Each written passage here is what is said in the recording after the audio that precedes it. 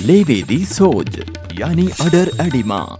ਲੇਵੇ ਦੀ ਸੋਜ ਦੀ ਸਥਿਤੀ ਦੇ ਉਪਚਾਰ ਦੇ ਲਈ ਤਿਲ, ਜਾਂ ਸਰੋਂ ਦਾ ਤੇਲ 200 ਮਿਲੀਲੀਟਰ। ਹਲਦੀ ਪਾਊਡਰ, ਇੱਕ ਮੁਠੀ, ਅਤੇ ਲਸਣ ਦੀ ਦੋ ਕਲੀਆਂ ਚਾਹੀਦੀਆਂ ਹਨ। ਇਹ ਸਾਮੱਗਰੀ ਇੱਕ ਵਾਰ ਦੀ ਵਰਤੋਂ ਲਈ ਹੈ। ਇਸ ਦਵਾਈ ਨੂੰ ਤਿਆਰ ਕਰਨ ਦੇ ਲਈ ਤੇਲ ਨੂੰ ਗਰਮ ਕਰਕੇ ਉਸ ਵਿੱਚ ਹਲਦੀ ਪਾਊਡਰ ਅਤੇ ਬਾਰੀਕ ਕੱਟਿਆ ਹੋਇਆ ਲਸਣ ਪਾਓ। ਇਸ ਮਿਸ਼ਰਣ ਨੂੰ ਚੰਗੀ ਤਰ੍ਹਾਂ ਮਿਲਾਓ ਅਤੇ ਸੁਗੰਧ ਆਉਣ ਤੇ ਅੱਗ ਤੋਂ ਲਾ ਲਓ। ਇਸ ਨੂੰ ਉਬਾਲਣ ਦੀ ਜ਼ਰੂਰਤ ਨਹੀਂ ਹੈ। ਹੁਣ ਇਸ ਮਿਸ਼ਰਣ ਨੂੰ ਠੰਡਾ ਹੋਣ ਦਿਓ। ਮਿਸ਼ਰਣ ਨੂੰ ਠੰਡਾ ਹੋਣ ਤੋਂ ਬਾਅਦ ਉਸ ਨੂੰ ਪੱਲ ਵਾਲੇ ਹਿੱਸੇ ਜਾਂ ਪੂਰੇ ਥਣ ਉੱਤੇ ਦਬਾਅ ਦੇ ਨਾਲ ਗੋਲ-ਗੋਲ ਘੁਮਾਉਂਦੇ ਹੋਏ ਲਗਾਓ। ਇਸ ਨੂੰ 3 ਦਿਨਾਂ ਤੱਕ ਰੋਜ਼ 4 ਵਾਰ ਪ੍ਰਯੋਗ ਕਰੋ। ਕਿਰਪਾ ਧਿਆਨ ਰੱਖੋ ਕਿ ਇਸ ਵਿਧੀ ਨੂੰ ਪ੍ਰਯੋਗ ਵਿੱਚ ਲੈਣ ਤੋਂ ਪਹਿਲਾਂ ਇਹ ਪੱਕਾ ਕਰ ਲਓ ਕਿ ਪਸ਼ੂ ਨੂੰ ਥਨੈਲਾ ਰੋਗ ਨਹੀਂ ਹੈ।